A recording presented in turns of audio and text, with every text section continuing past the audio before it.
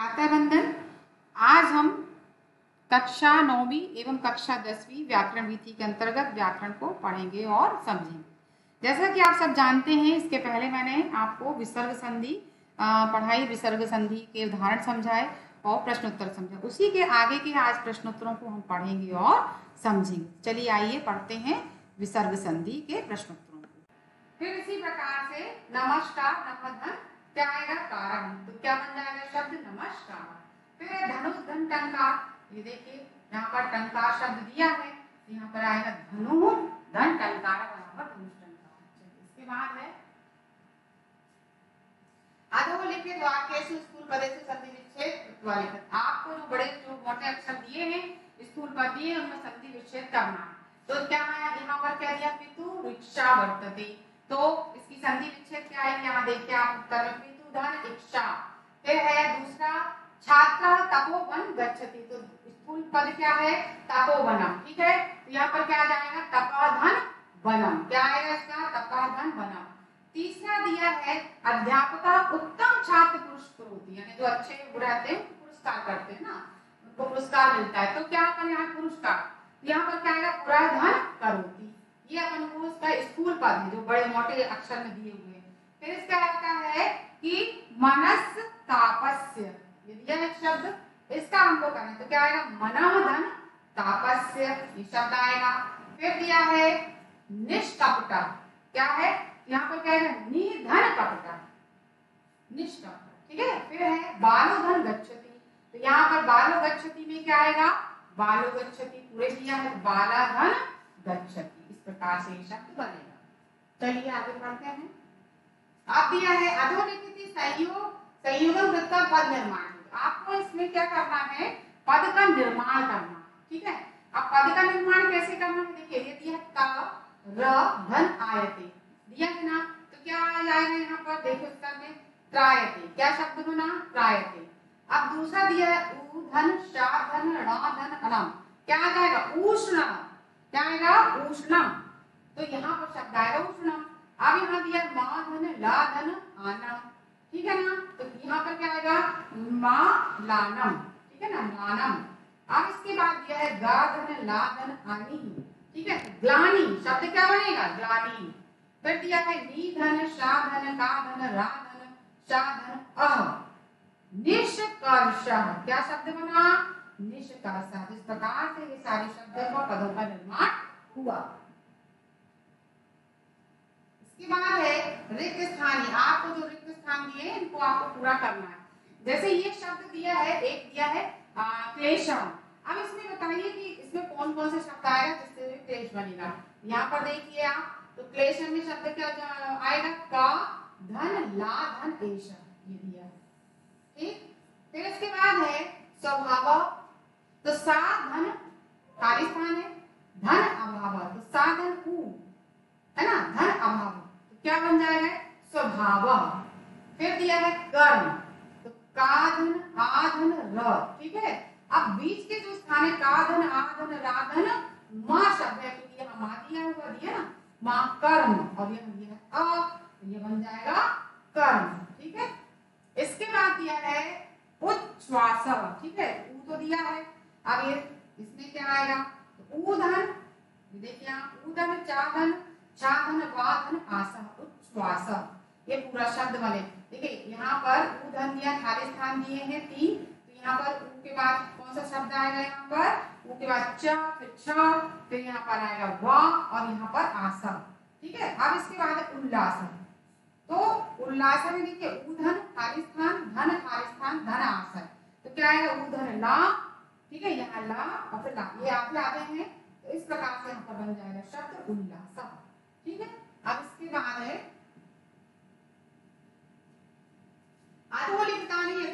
वियोजयति। जननी जन ठीक है अब इसमें हमको क्या करना है यथापेक्षित जैसा इसमें लिखा वैसे इसको सही आ, क्या आएगा इसका? यथा जैसा है। तो जननी यहाँ पर आएगा जननी जनक विहीन मान्नाथम पश्यामि। क्या आएगा जननी जनक विहीनम अनाथा पश्यामि। तो हमको क्या लिखना आएगा जो सही है? जननी जनक विहीन नाथम नाथम पश्याम। या नाथम नहीं आएगा नाथम पश्याम। ठीक है? आप दूसरा दिया, सीता पुस्तकम अपठत। तो क्या आएगा सीता पुस्तकम पठत। ठीक है? अपठत नहीं, पठत। सब में आप देखिएगा आपको समझ में आएगा कि आपको सही क्या लिखना है। पुरु नातम अनर्थम तो क्या आएगा? पुरु इसी प्रकार से यहाँ पर दिया हुआ है बालकम अनाथम पाले। ठीक है ना? तो जैसे कि मैंने आपको बताया अनाथम दिया है तो यहाँ पर क्या आ जाएगा बालकम नाथम सब में क्या आएगा? सही, इसका यथापेक्षित जैसा है, वैसा ही। इसको अपन को सही लिखना सर्वम अह। निशम मानय। तो यहाँ जो शब्द दिया है, देखिए यहाँ पर सर्व महर निशम मानय। ठीक है ना? आहार निशम नहीं, यहाँ पर आहार निशम दिया। लेकिन यहाँ पर क्या जाएगा? आहार निशम की जगह सर्व महर निशम मान ठीक है इस प्रकार से आपको यहाँ पर ये पूरा जो दिए गए शब्द उनको कंप्लीट करना है आप इसके बाद देखिए फिर दिया है संधि विच्छेद रूपम पूर्यत संधि विच्छेद कर उसका जो उसको सही क्या आएगा उसमें करेंगे तो। तो सबसे पहला शब्द दिया है वृक्षस छायायाम। वृक्ष की छाया रहती है ना वृक्षस छायाम अब इसका संधि विच्छेद क्या आएगा? देखिए, छायायाम तो दिया है। तो यहाँ पर क्या जाएगा? वृक्ष। क्या आएगा? वृक्ष। यहाँ पर देखिए उत्तर पहला उत्तर आएगा। वृक्ष। अब है नावतु बराबर। एक शब्द दिया है, शब्द है। तो यहाँ खाली स्थान धन अवतु तो। क्या आएगा यहाँ पर? खाली स्थान धन, नव। नव। ठीक है? तो ये शब्द आएगा नव। धन अवतु नावतु फिर है तीसरा वागर्थव्य तो यहाँ पर शब्द दिया वागर्थव्य तो बात धन।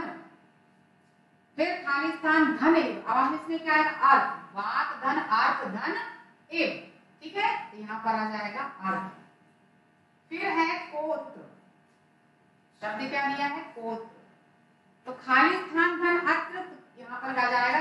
कह धन अत्र। क्या आएगा? कह धन अत्र। ठीक है?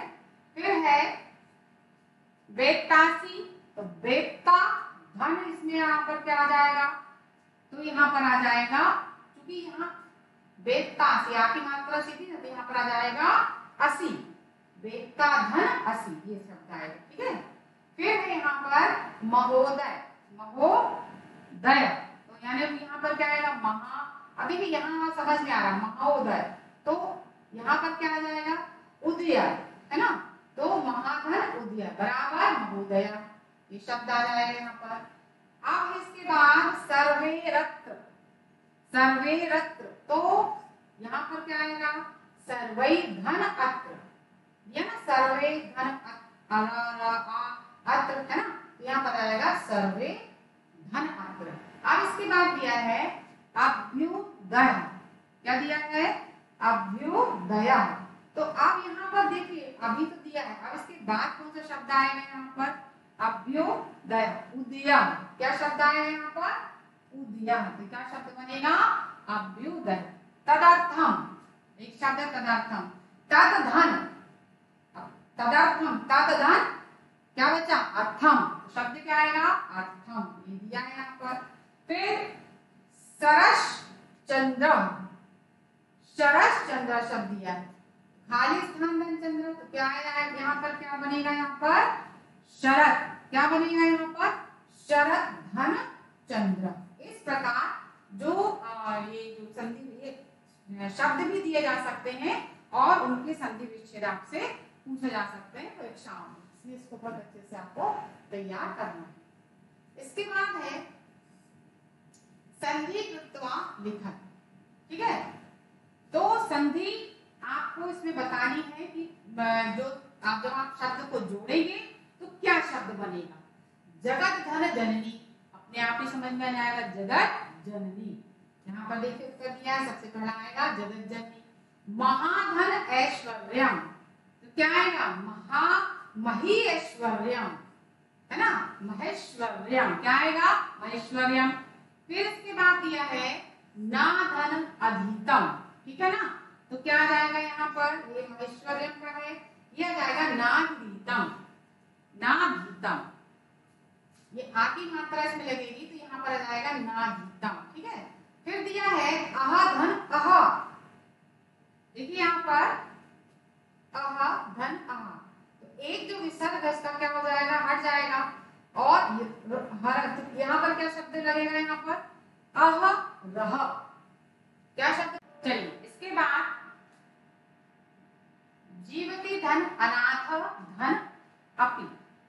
देखिए इसमें जीवती धन, अनाथ धन अपी। अब यहाँ पर क्या आएगा? जीवत जीवत नाथो अपी क्या शब्द बनेगा? जीवत नाथो अपी। ठीक है? ये शब्द बनेगा। अब यहाँ पर क्या है ग्रह धन अपी। ग्रहे पी। ग्रह धन अपी। क्या आ जाएगा? ग्रहे पी। ठीक है? फिर जगत धन माता। तो क्या यहाँ पर आ जाएगा? जगन माता। शब्द क्या बनेगा संधि में? जगन माता महान महान महान ठीक है? ये शब्द बनेगा। द्वौ धन एतौ द्वावेतौ ना शब्द द्वौ धन एतौ, शब्द क्या बनेगा? द्वावेतौ ठीक है? ये है, ये जगन माता का है, ये महान का है और द्वावेतौ अब इसके बाद दिया है, यत धन भविष्य, धन विनश्यति अब देखिए, ये जोड़ना है शब्द यद धन भविष्य, धन विनश्य। शब्द क्या बनेगा यद भविष्यो विष्णु विनश्य यद भविष्यो विनश्य ये शब्द बनेगा ठीक है? इस प्रकार से यहाँ पर आज मैंने आपको जो विसर्ग संधि है, उसके जो प्रश्नोत्तर है विसर्ग संधि क्या होती है, उसके जो उदाहरण है, प्रश्नोत्तर है, आप लोगों को पढ़ाए, समझाए। आप लोग सभी इसको कॉपी में रजिस्टर में लिखते जाइए और याद भी करिए। धन्यवाद बच्चों।